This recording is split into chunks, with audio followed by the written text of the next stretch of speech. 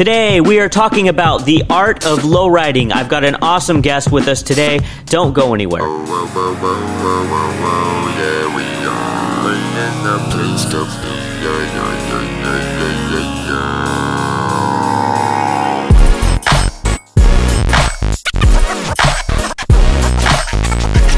Here's your host, Brandon Loran Maxwell.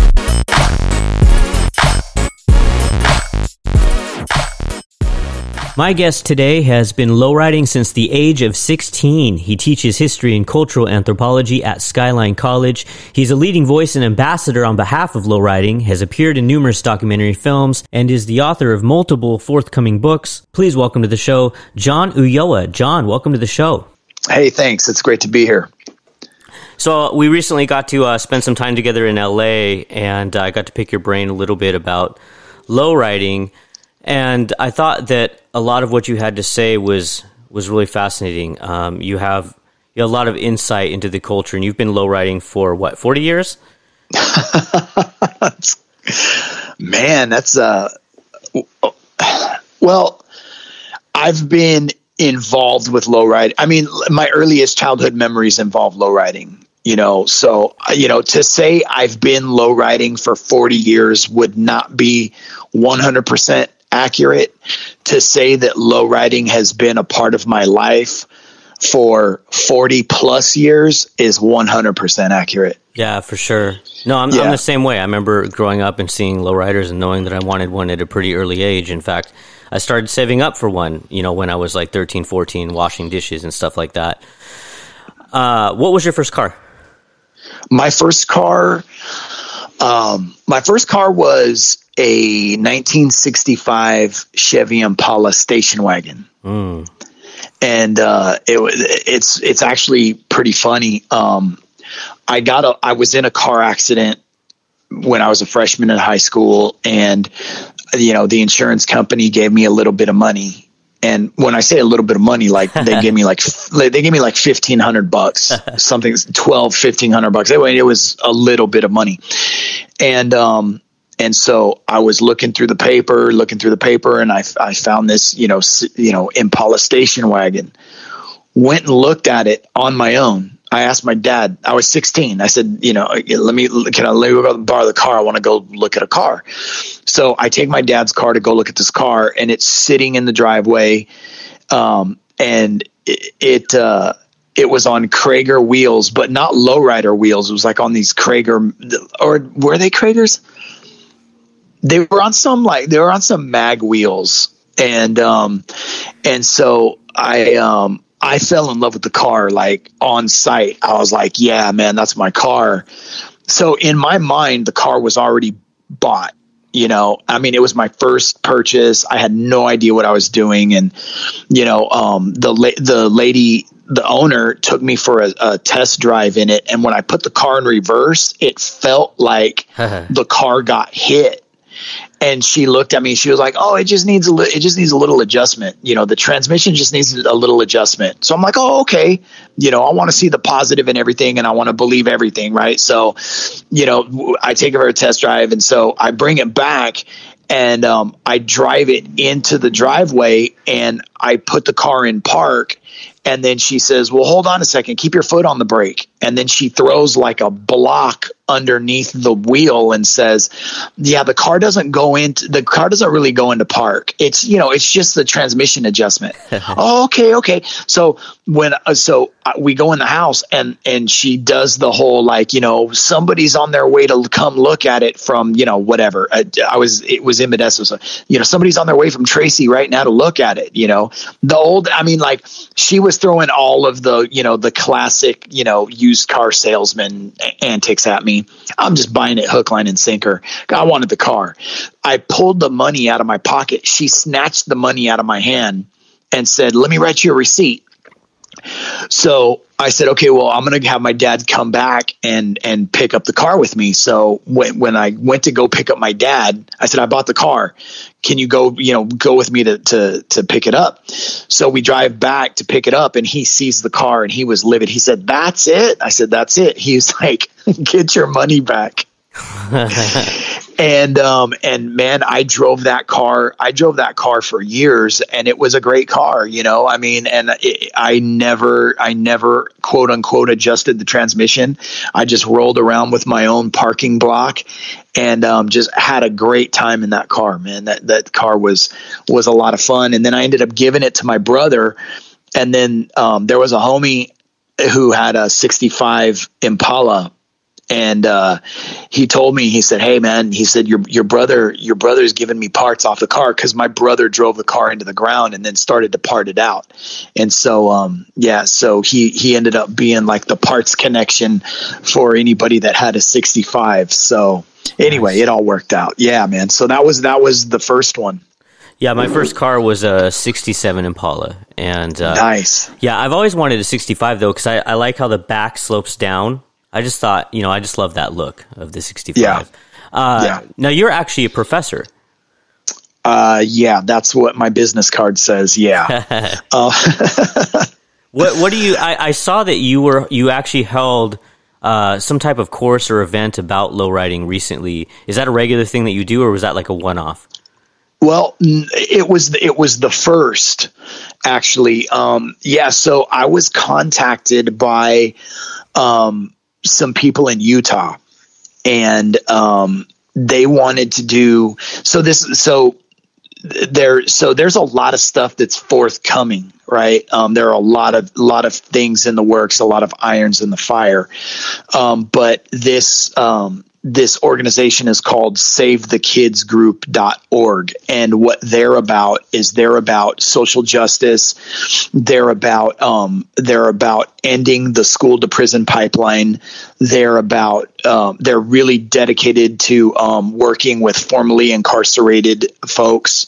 Um, and you know for all on a, whole host of, of levels you know job placement um, you know just they're really they're really active in in that regard with that mission, and um, and they do a number of different social justice themed um, um, one day workshops, symposia, but they they do these conferences. So, um, so this the the head of the organization hit me up and he is connected to the Salt Lake City lowrider community. He's actually in a bike club and um, he's an educator and um, you know said that he wanted to do a whole host of things including hosting a lowrider studies conference and um, asked if i would be involved. I said absolutely.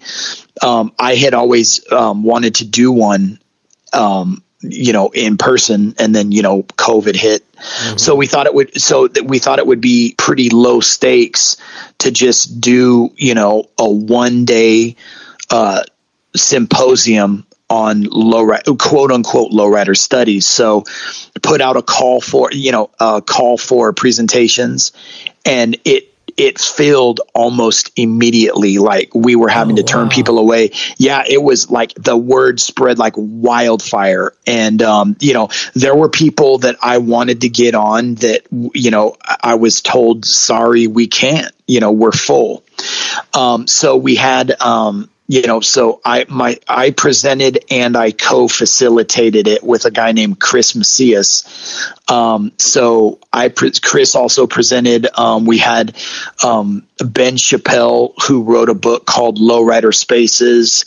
Um, we had um, just uh, you know all different you know we had phd candidates that were presenting their current research filmmakers. Um, uh, one of my favorite uh, presenters was this this uh, OG uh, painter. He was a car painter, and um, just want, just came on, and we just chopped it up about his career as a painter and the old days of you know how he got into painting cars, and um, you know, and it was great. So um, you know, then we had. Uh, um, uh, Raul Garcia, who has the Drifting on Memories podcast, mm-hmm. which is the first low ri- the first podcast dedicated to low riding.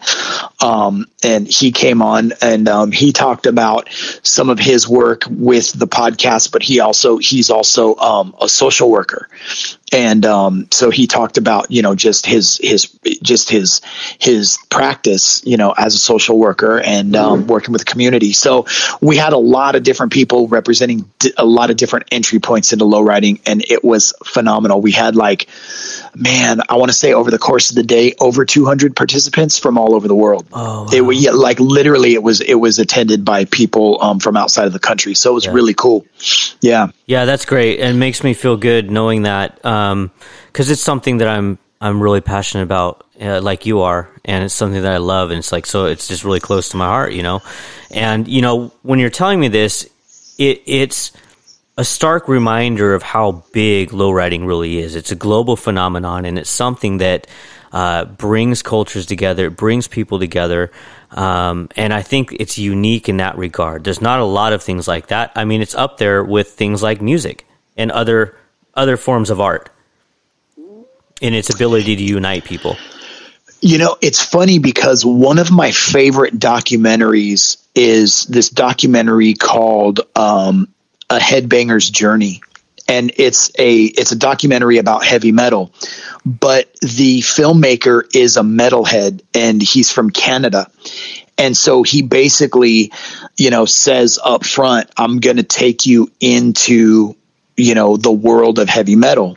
And he really does. But the one of the interesting things is one of his interviews. He interviews Rob Zombie, and Rob Zombie is is talking about how how huge heavy metal is. But if you don't know about it, you would never know how big it is. You know, and I and I think you know that's to piggyback off of the point that you're making right now. I mean, it's like if you know, you know, and if you don't know, then you think it's just you know it's something that you know it, it's it's almost an anomaly. It's almost like a, a you know a character uh, character character caricature caricature. Yeah. You know i mean it's just you know it's um it's it's you know almost silly to some people but they have no idea the depth nor breadth that low riding has and the deep roots that it has. So yeah. And and so my you know my my mission you know um, is to basically number one be an ambassador for lowrider culture but really you know everything that i do i'm trying to advance low riding in a positive way Yeah, and that and that kind of brings me to the next question, which is, you know, what are some of the biggest misconceptions about lowriding to the people from the outside looking in? Um, well that lowriders are gangbangers that lowriders are criminals that lowriders are you know uh, mexicans you know um, and i think that the, th those are the big three. Um, you know and if and if you if you if you look at you know friday the movie you know then lowriders are pcp smoking mexicans. You know and um and so i think that that you know the the the mainstream and mass media certainly um, does not help low riding. Um you know i think that you know i used to do my own kind of kind of show during covid on instagram the low ride worldwide happy hour. And um and so you know people would ask and you know we would talk about movies and and I, and I was trying to think of a movie that where low riding was presented in a positive way in other words like there Yeah. was nothing nothing no criminal no zero criminalization of low riding at all and um um Well, I think I can think of, you what about La Mission? McFar- McFarland USA oh, yeah. was the on, was the only film that I could think of.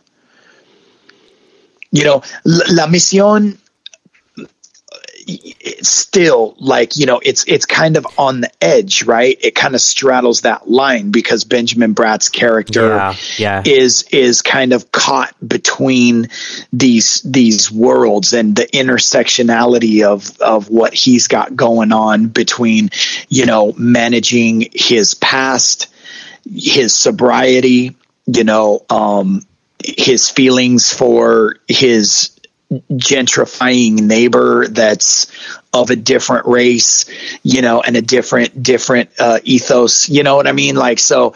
But when when I think about just absence of criminalization through and through, one hundred percent. Um, I think that McFarland USA is the closest that we get to that. You know, Sure. so anyway, Yeah, it's strange to see low lowriding in that light for me. I mean, growing up, and I'm sure you are probably the same way. Like I, that was always like the thing that you did if you didn't want to be involved with gangs and stuff like that. Like you, you, you had car clubs. You had, um, you had a lot of camaraderie around cars, and uh, you know, cars, lowriders in particular are a way for sons and and and the fathers to bond. They're family oriented. They're community oriented. I never associated them with the criminal elements that I see on film and in TV. Well, you know, I mean, look, I don't, I don't want to be, I don't want to be, you know, Pollyanna-ish about this. I mean, not all lowriders are up for sainthood. Clearly not. You know, um, but I think that, you know, when when you when you start keeping score about who's lowriding, I think the majority of people are straight up hardworking family people that are into you know the positive aspects of low riding and getting together and cruising barbecuing you know um, you know you know family parties club parties camaraderie. Yeah so you know but you know i mean it it hasn't all it where it is right now you know we have to think about, you know, if we drop the needle on the record with the Pachucos in the 40s, you know, and here we are, you know, what, 70 years later, you know, if my math's kind of right, you know, um, you know, it, it's come a long, long way. I mean, you know, and, and I, I think that, you know, people that low ride, especially the younger generation, ought not to be lost on the fact that you know the tip of the arrow takes the most damage and you know past generations of lowriders got way messed with by law oh, enforcement yeah. you know and so you know the fact that we can cruise now and not get hassled by law enforcement is a huge luxury that has got you know i mean it took it took decades and decades and lifetimes to get here you mm-hmm. know it did it hasn't always been like this you know what i mean Sure. so yeah Yeah, well, I- that's I- what- no, go ahead. that's what I want the younger generation to realize and understand is that, you know, that it's a luxury to get into a lowrider, number one. And it's a luxury to get into a lowrider, drive down the street and not get messed with. You know, I mean that that's that's a big deal. And I want the younger generation to understand that. The Sure. older folks, the older folks that will listen to this will nod their heads and say, "Yep, that's right." You know, and you know, I'm I'm taking it from what I saw as a kid, but also even way before that, you know, like the veterans of low riding schooling me on that, you know. Sure. Yeah. Yeah. And and I grew up in the in the 80s and, and early 90s. I was born in 81 and I you know, I remember when I had my Impala in the 90s and uh, man, I got pulled over all the time in that thing. I could just be doing something as simple as going to the store and you could have a cop uh, cross the other lane go in the opposite direction, he'd flip a U and Yep. and pull me over and uh, I mean, it's it's crazy how often I got pulled over in that thing. And uh, yeah, you're right. And I don't see that anymore. And I remember when all the, the cruising bans went into effect. And Yep. it's it's really kind of funny because I, I don't know if it was New Mexico. Um, you know, there was a state that recently got rid of, they reversed their cruising bans. And and the, the, the government of the city made an admission that they kind of missed low riding um, because they see they see it differently now in a different light than they did 25 years ago. And they see the art of it and they see a lot of these kids are older these guys are older now. Um, and i'll admit yeah like you said there there's um, it's not that, everybody's an angel um, and and uh, you know I, I think chicano culture in general is is a complex culture um, but uh, I, I it's a lot different today than it used to be For sure. No, no question.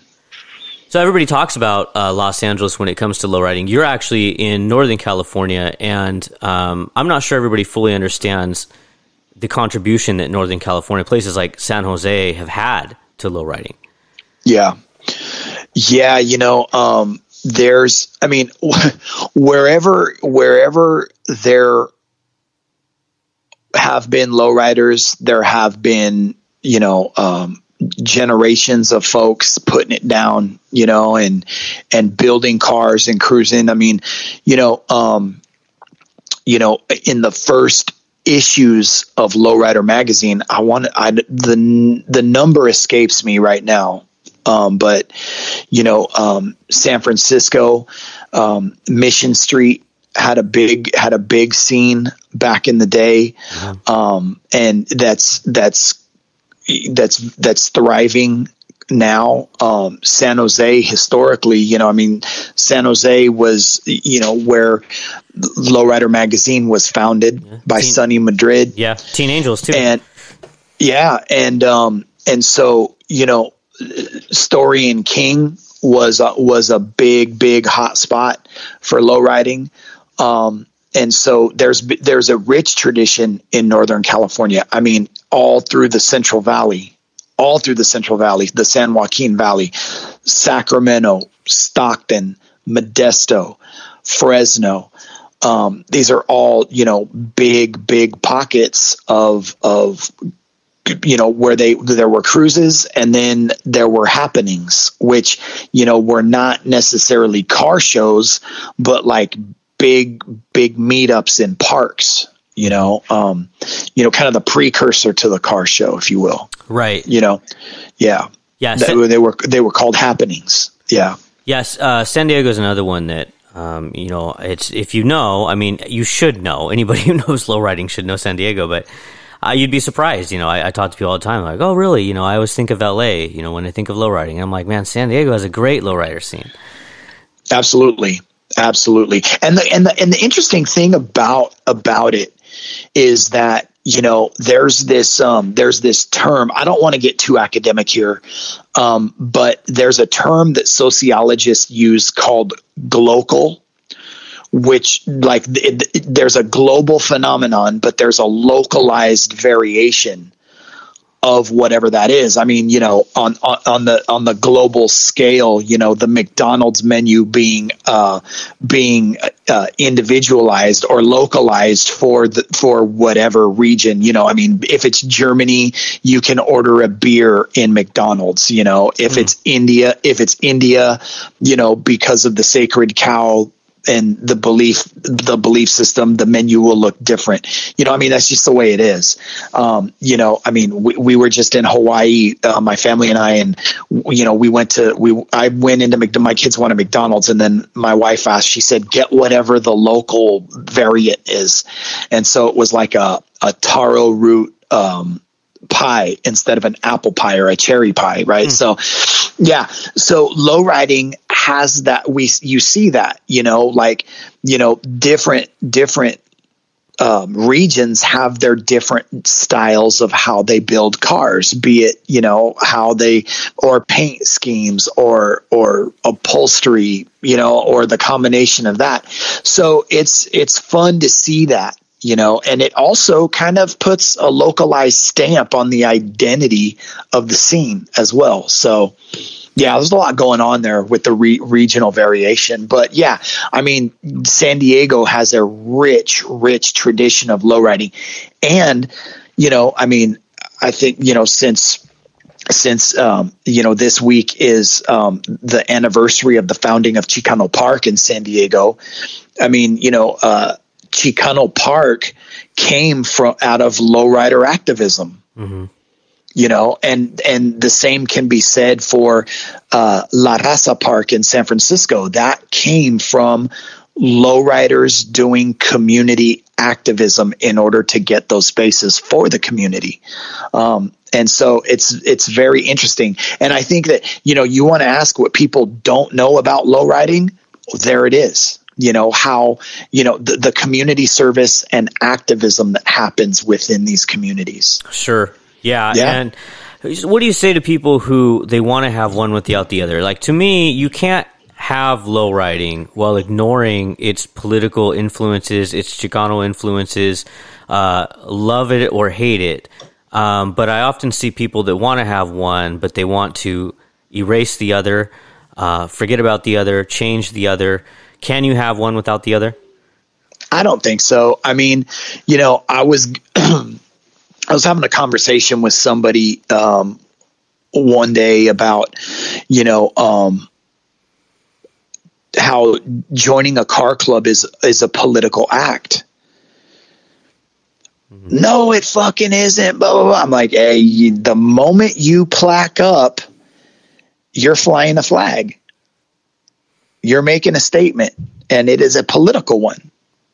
Whether you see it or not, it's true. You know, be it you know, um, you know that's that becomes your identifier you know, and and what you represent and everything that that plaque represents, you know, and it all points back to a politicized come from, you know. Um, so you know, as far as low riding as a cultural phenomenon, you know, and you know a statement of pride, you know, a, a statement of ethnic pride, a statement of nationalism. I mean, you think, you know, how many Mexican flags get flown on a on a uh, um, license plate topper? Mm. You know, I mean, I'm looking at mine that came off of my bomb in my garage right now, and one's one says Chicano, one is the California flag, and the other one is the low the lowrider man mm-hmm. logo from Lowrider magazine. Uh-huh. You know, those are those are those are three po- individual political statements, but together there's kind of a, a thesis sure. with that with that combination. You know, sure. so yeah, I don't think I, they're not separable. So uh, I don't know if you want to get into this or not, and you don't have to if you don't want to. But I, you know, I have received emails in the past um, about my defense of low riding um, Chicano culture, and a criticism that I've heard multiple times from the younger generation is that low riding equates to machismo it's toxic masculinity, and these these things drive me crazy. And it's I'm not quiet about it. It's no secret that this this mindset, in my opinion, is poisonous. And uh, I'd just be curious to hear your thoughts on that because I'm sure you've come across it too as a professor. Well, you know, I mean, I, look, look at look at what just went down in Austin, Texas mm-hmm. in in in their Chicano Park. You know, I mean, they have a they they have a, a Sunday meetup. You know, um, every Sunday it's been going on forever. You know, and the gentrifiers that just moved into the new apartments across the way, um, somebody called the police and said that there that it was an, a display of toxic masculinity. Um, and then and then uh, you know, th- there's a female photographer that I know who is a who who has a truck. Um, she's a member of Duke's Car Club, and she posted on on her Instagram. She said, "Well, I guess I am toxic masculinity too." Um, so here's the thing. I mean, you know, look, low riding has historically been a male dominated game. There's no denying that like there's anybody who speaks to the contrary is wrong. Mm-hmm. Okay. I, I will I will be that bold in the statement. You know, we I mean it's it's no secret that it's male dominated. Okay. However, there have been all female clubs. Mm-hmm. You know, and and there are many many women that low ride that are that are car owners um, that are you know doing community service. I mean you know there's there are a lot of women that are active. I think what I, I think what people see and in in the criticism has to do with how women are depicted with the cars. Mm-hmm. right? Um, you know, but here's the thing, you know, in our culture, and when I say our culture, I'm blanketly referring to quote unquote American culture, mm-hmm. United States, United States consumerism. Okay. Um, sex sells. You know, I mean, Lowrider magazine, when it changed hands, you know, it's, they figured out if we put scantily clad women on the covers and in the magazines, we'll sell more of them. And if we sell more of them, we'll be able to sell more ad space. We'll generate more revenue.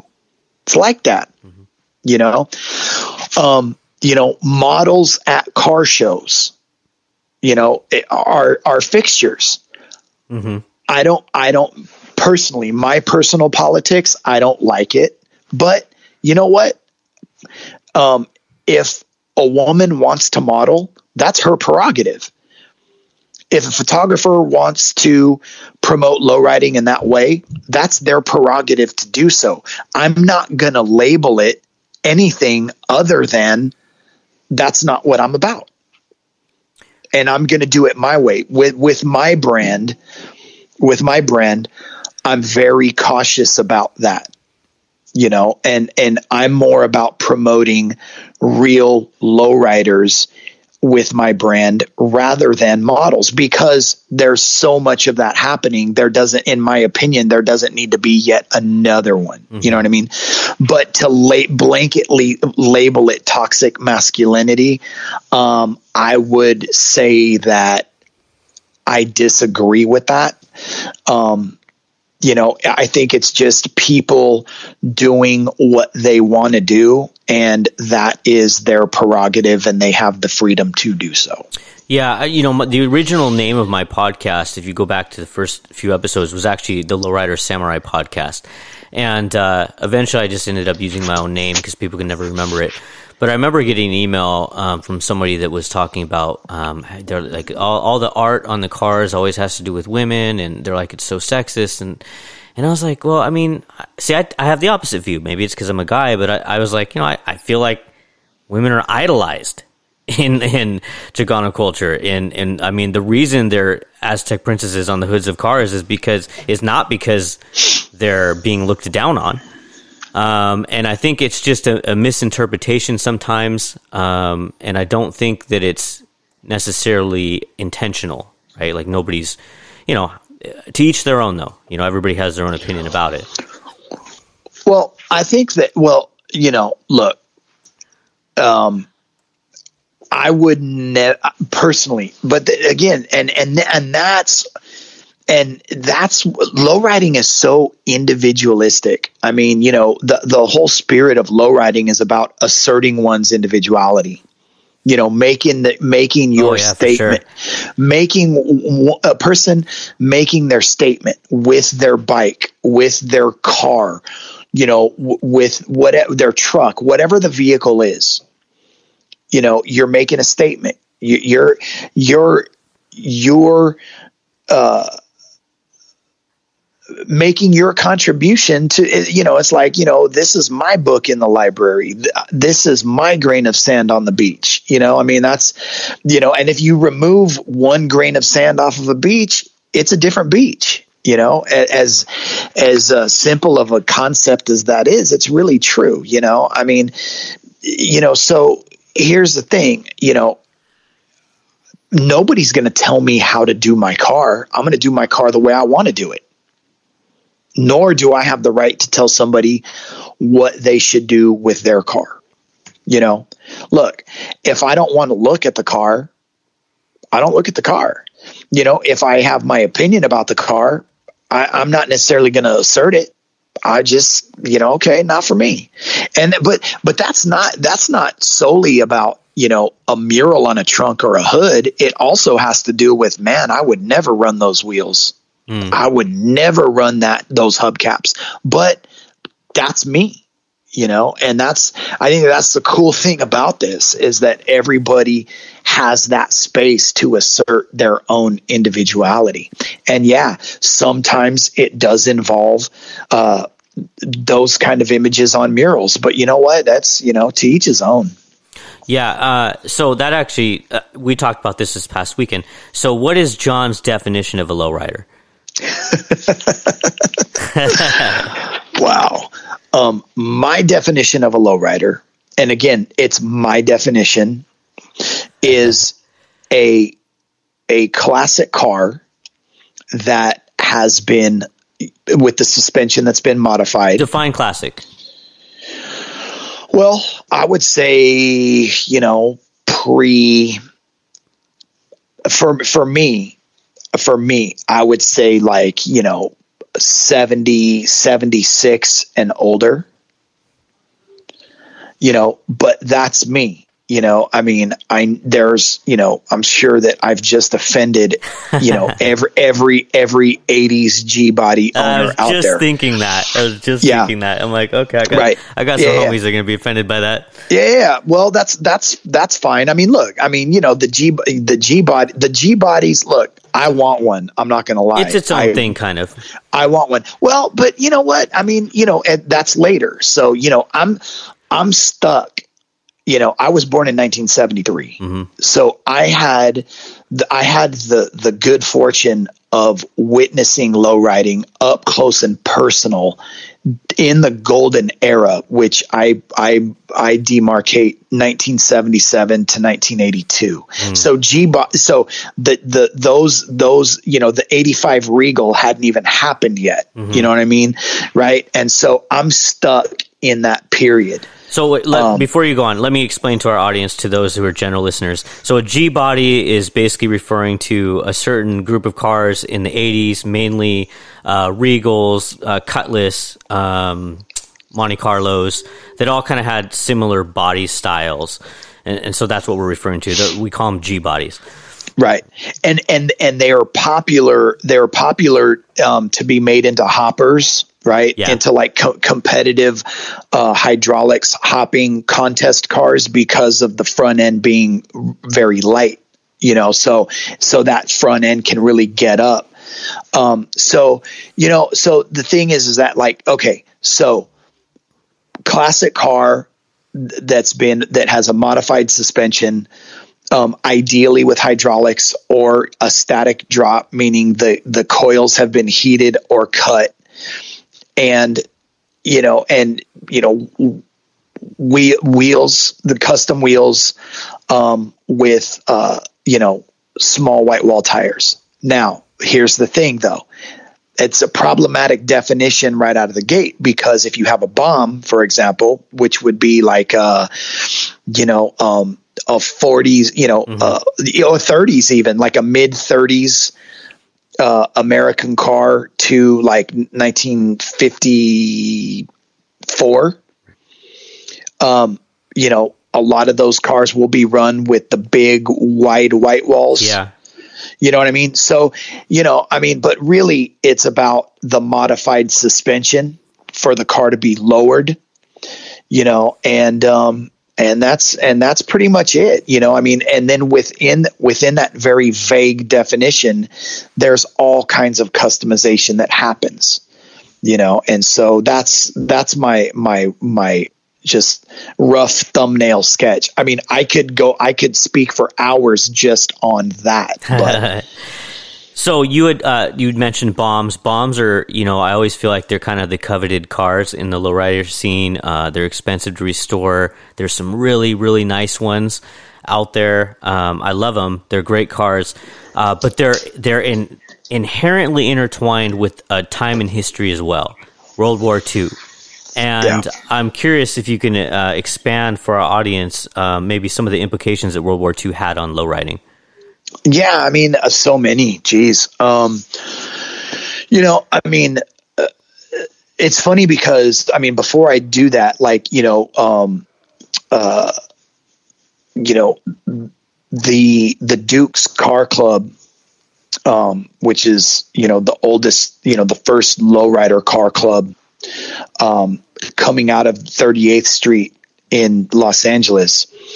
Um, you know those guys you know uh, they've referred referred to bombs as gangster cars you know um, you know when you when you watch those old movies you know, and you know they've got the suicide doors and Yeah. the Tommy the Tommy gun out the window with the fedora hat, you know, and they're they're shooting it out, you know. Um, they they have that kind of the car itself kind of has that backstory, you know. But um, but as far as bombs in World War II go, I mean, you know, first of all, we had we had the Pachucos during World War II, the Zoot Suiters, you know, and so, you know, you could look at the Zoot Suiters as the grandfathers of lowriding. Um, you know, then you had the surplus parts coming after World War II and aircraft parts, which were which basically were sourced to do those first hydraulic lift modifications on cars for the cars to be able to go up and down um, mechanically. Um, so there's a, a lot going on. I mean, you know, World War II. You know, just look, World War II was the United States' quote unquote best war to date. you know, I mean, right? In in terms of, you know, the fact that we suffered relatively low casualties. We we entered late into the war. You know, um, you know, we bombed the hell out of Japan and and claimed victory and we won it. You know, it would be like it would be like a fresh fighter coming into a boxing match in the 10th round and scoring a knockout and then claiming victory. You know, somebody else somebody else fights for 9 rounds and you know, a fresh fighter comes in in the 10th and and and knocks out the the opponent. Um so you know but the, the but the thing is is that the, the country was 100% mobilized for war so there was there was this this very very cut and dried attitude about what it meant to be American and and pay, and you know hyper patriotism. So anything that fit that did not fit into that box, anything that was deemed different uh, was considered un-American, and Pachucos definitely fit into that drawer as as you know not only a domestic threat but also as seen as un-American and by default not wanted. The present the presence of Pachucos being uh, uh, resented by you know people who believed that they were un-American because of their their their their their their their linguistic mannerisms, um, the clothes, the flamboyant clothes in a time where fabric was rationed, you know, and um, just seen as really like um, a, a a domestic enemy um, in that wartime climate. Yeah, and then you know, and you to piggyback, you had Sleepy Lagoon, the Zoot Suit riots, and I mean they Sure. had massive roundups during World War II of Mexican American youth. I think they rounded up some 500 youth one night. Yeah. Yeah. So yeah, a lot of things that you you see sometimes happening today, even with uh, with uh, Central Americans who come here and things like that. a lot of people don't realize that that Mexican Americans uh, have gone through this uh, same thing when they were, uh, but years ago, decades ago, essentially. as- Absolutely. as, they were, I guess, um, earning their stripes in this country. So the future, Yeah. the future of lowriding, you know, uh, I think about this a lot. Um, I think about, uh, you know, I see ahead, uh, Chrome, you know, uh, is going to be banned in uh, California, I believe, right? Right. Yeah. Well, they're they're trying to pass that bill. What do you think about that? I think I think well, first of all, I mean, we don't have anything better to do, really. um, you know, I mean, I think I think that you know, chrome and and metal metal finishing is like responsible for less than one percent of emissions Yeah. in California. It's just virtue right? signaling. Sorry. It's just virtue signaling. They come up with these stupid laws um, because it Right. sounds good, but it, it actually doesn't fix the, the real problem. No, and so what? So look, all that means then is that you know Nevada's going to get the business. Right.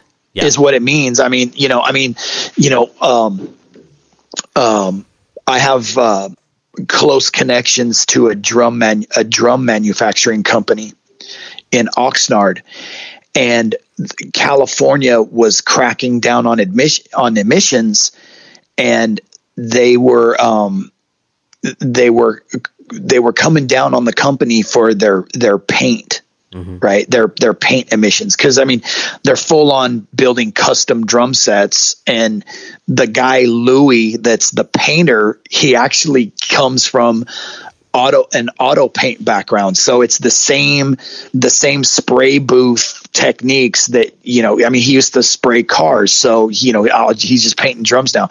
But the state was was coming after the, this company and they said hey you want to mess with us? We'll move out of state it's that simple if yeah. you're if that's how it's going to be we're gone and they backed off you know what i mean and so i think that yeah, Chrome is on the chopping block now, but it d- doesn't mean that we're going to go without Chrome. It well, means that we're we're going to have we're going to have to have our stuff Chrome somewhere else. Yeah, and I man, I mean, there's so many ways this can go too. I mean, as soon as I heard that that, that about that bill, I was like, this is not going to be good. You know, these these people are so detached from working class communities, anyways. It probably didn't even occur to them that they're jeopardizing livelihoods, that they're uh, jeopardizing cultures, that they're not making friends.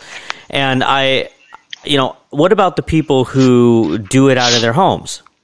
Are you going to go, you know, raid people's homes that make sure they're not, you know, doing that type of thing? Um, I, I don't know.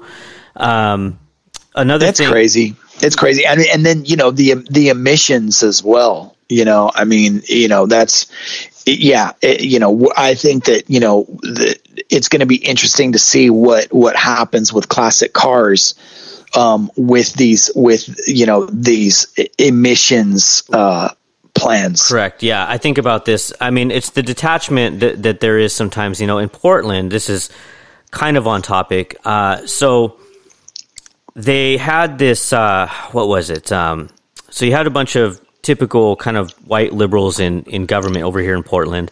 Uh, they wanted to uh, encourage people to uh, they wanted less cars in the area. So what they did was they got rid of all the parking spots and they created a bike path.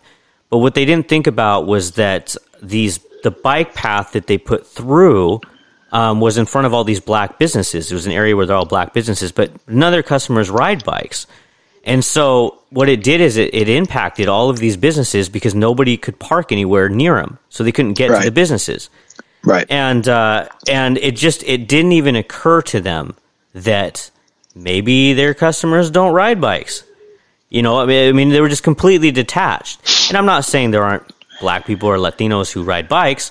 I'm just saying that sometimes it, when it comes to bureaucrats, uh, things sound good, but they don't actually think about the long term repercussions because they're not involved in the community like they like to think they are.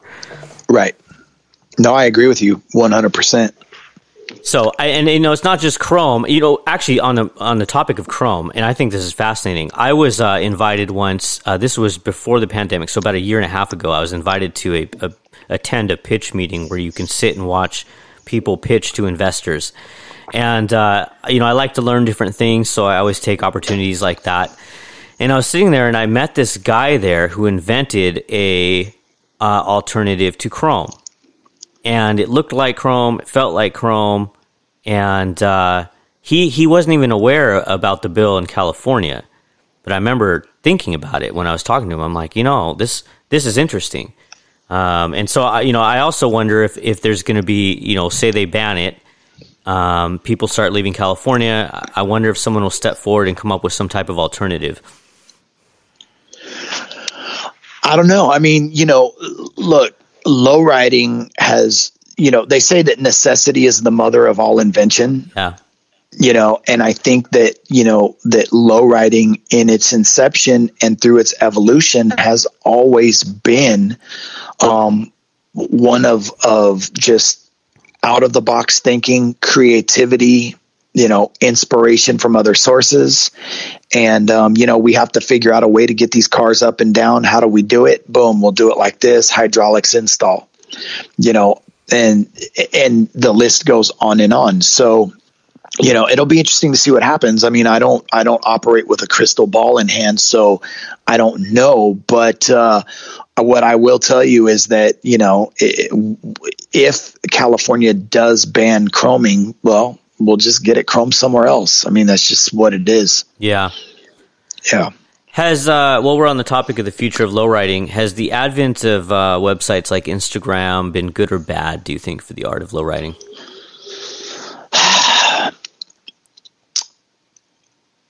That's a that's a very complicated question. I know. um, you know, in the one on the one hand, it's good because you know you can see what people are doing all over the world at a glance.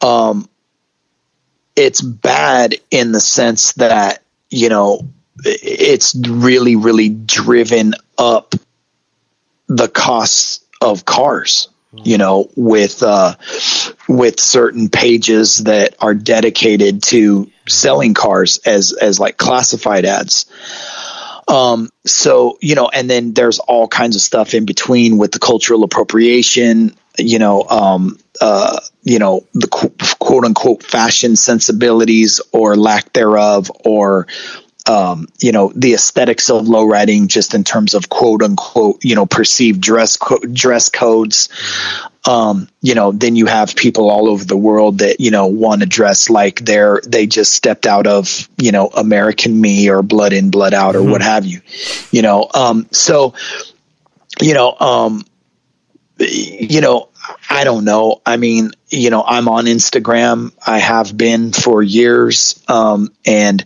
you know, it's allowed me to connect with people from all over the world. I think that what it's done is it's expanded um, community in a lot of ways, but, you know, it does have its downside. I mean, look, you, you know, you have to, you, you know, there's always, you know, uh, you know, every coin has two sides, right? Yeah. So, you know, it's just, I think it just depends on, you know, what aspects of things that you're referring to, you know, like, like I, you know, I know a cat, his name's Carlos. He has, um, he has the page just lowriders.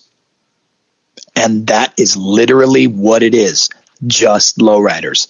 No models, no no sales pitches. You know, um, you know he ha- he has a, some merchandise and he's come out with his own coloring book and that's cool, but literally just lowriders. And I don't know how many hundreds of thousands of followers he has now, but but not for not that dude will be in Northern California in the morning and LA in the afternoon for you know the hop at night so the guy is literally everywhere mm-hmm. you know and um and he is you know he's he's logging some serious miles to get his content. And he's a great ambassador for low lowriding. And um you know i love what he does. So yeah you know it's also cool to see how other people approach low lowriding or how they present it. Um but you know it's a double-edged sword yeah, and we talked about this last weekend, um, you also have a segment of people who take away all the wrong things from low lowriding, or they they equate the wrong things with lowriding, uh, or they, uh, you know, the appropriation is an interesting discussion because how do you how do you how do you embrace low lowriding or adopt low lowriding without engaging in appropriation? Yeah, that's a that's a good question as well. You know, I mean, I think that you know, I think it depends on the person. You know, I mean, you know, there there are there are families that are generations deep in lowriding. Mm-hmm. Um, you know, like for example, in my in my case, all right, in my case, I had my cars when I was younger you know, and then I ended up, you know, you know, like I sold my 64 Impala to go to Cuba. Um, I wanted to go to Cuba. That's the only thing that I had that could get me there. So I sold it um, for $2,000. Mm. 1964 Impala, $2,000. That was like 1995. Wow. Yeah. That's what I paid for it. That's what I sold it for. I went to Cuba and and I looked at it like you know I'm buying life experience, and that and that was a life changing experience. I would not trade it for the world. I would have done. I would do it all over again, no regrets.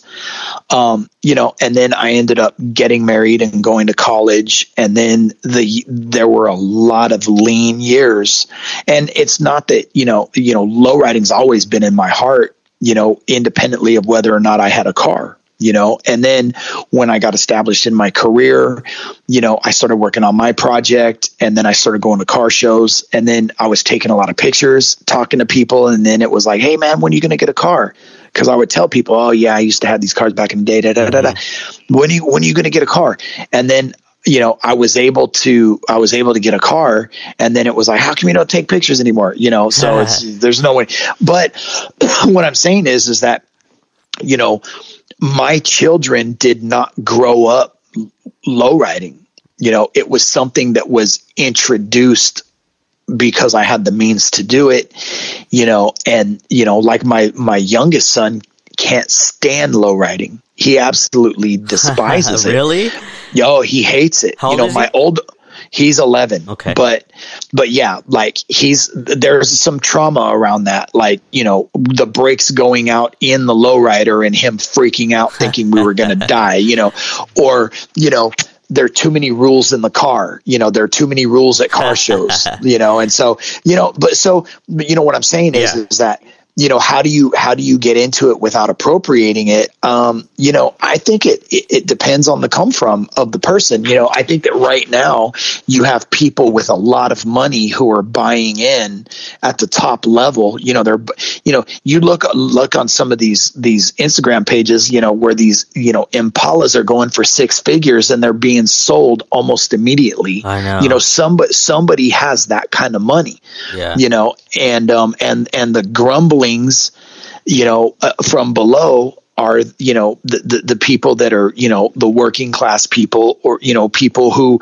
have been down for a long time are saying you know what these are people that, that these are people that are buying in you know? They're, they're not really really into it. It's just it's cool right now. Yeah. it's it's it, you know it's hot right now. So you know they're getting into it. So i don't know Yeah, I I know. I'm I'm proud of the fact that I'm one of those people who've been there all along, and Yeah. uh, there, there's well since I can remember. Um, I mean, there's been times when I didn't have a car, you know, um, like Right. you, and sometimes you have to.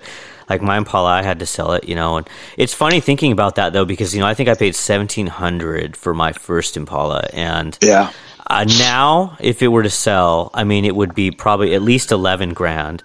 Um, not like totally dumpy, right? Like the dumpy version of it would be at least eleven grand, and it would probably be a little bit higher than that because, I mean, you can't find, especially in California. I mean, they go for a lot. They're Yeah. you know. So, John, for sure uh, for the people who want to follow you and keep up with what you're doing, what's the best way that they can follow you? On um, you know catch me on instagram i have if you just input the two words low ride worldwide uh, you'll find me um, or the the at is at low ride underscore x underscore worldwide Cool. Do you have any uh, anything new coming up? Um, I have I have a book that's forthcoming this year. Uh, that's the Global Atlas of Low Riding, um, and then I have a couple of other irons in the fire that I'm not r- quite ready to discuss. Sure. Um, um, there's uh, a documentary coming out called uh, "The Great American Lowriding Tradition." Um, so looking forward to that coming out. Um, I interviewed for another documentary on low riding in San Jose, but I think that that one's still in production. So yeah, the, you know, there's always, you know, the phone the phone's been ringing lately, so we'll we'll see what happens. Sure. Well, man, uh, I- it's always great talking to you. Um, I look forward to seeing what happens with you in the future and what you have going on, and uh, we'll be in touch. Appreciate it. Thank you. Thanks, John. All right. So that was John. Uh, I can talk to John all day. I love talking to John. He's a great ambassador for the art of lowriding. He's very knowledgeable, and I look forward to his book. Uh, for those of you that decided to join us this week, I thank you again. I hope you decide to join me again next week. Until then, please make sure to subscribe to my new YouTube channel. Just look up my name, Brandon Loran Maxwell. If you want to support the show, go to dailychela.com backslash subscribe. I can't keep doing this without your support. Thank you for listening. Have a great week you.